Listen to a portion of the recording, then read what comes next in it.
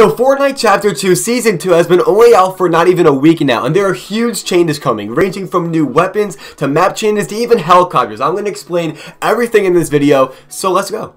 So with that said, first off, any of you guys are new to my channel, make sure you guys subscribe. There are big things coming out for Fortnite throughout the season. You don't miss anything about that. I'll be covering all on this channel. And on top of that, you will not be disappointed by subscribing. I would love to have you on this channel as well. And with that said, hope you're having an amazing day or night so far. It's your boy Nick Arg, and let's get right into it. So how this video is going to work is I'm going to show you guys the smaller changes that you may or may not even care about and then we're going to get right into the bigger changes that you most likely care about. But now I want you to comment down below real quick because like I said it's been a week since this season released basically. What would you rate this season so far on a scale of 1 to 10, 1 being the worst and 10 being the best? I want to know your thoughts on that. I would love to know and I'm genuinely interested in what you guys think. I heard a lot of people like it, heard a lot of people didn't like it. I want to know what you think. But let's get right into the first change and that is going to be a simple one called the Disguise Have you guys ever went into a booth to change into like one of those henchman things. This is basically one that you can carry on your person and you can just change into a henchman just like that.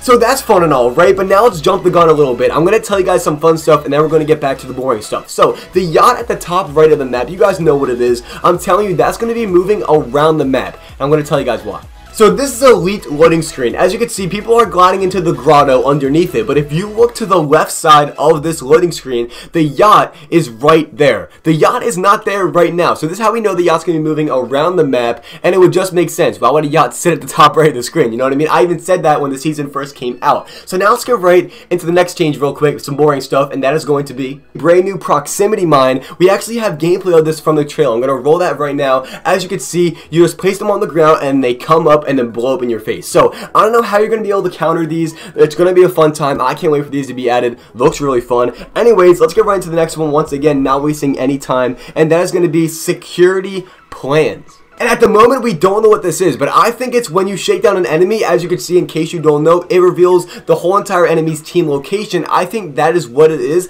except you can carry it around. But for some reason, as you can see, Lucas7yoshi said that it's labeled under ammo. That's kind of strange. So now with the boring stuff out of the way, I want to talk about the helicopters, but I need to tell you guys one of our favorite weapons is coming back. That is the guided missile. And I know you're excited, I understand, hold back your excitement, but as you can see, if you go into the Battle Pass screen and you go up to the Daily Challenges tab, a picture of the guided missile is there looking at you, looking pretty, but now, I want to back this up a little bit, the guided missile actually got added back to the files, so yeah, we're getting it back, let's go.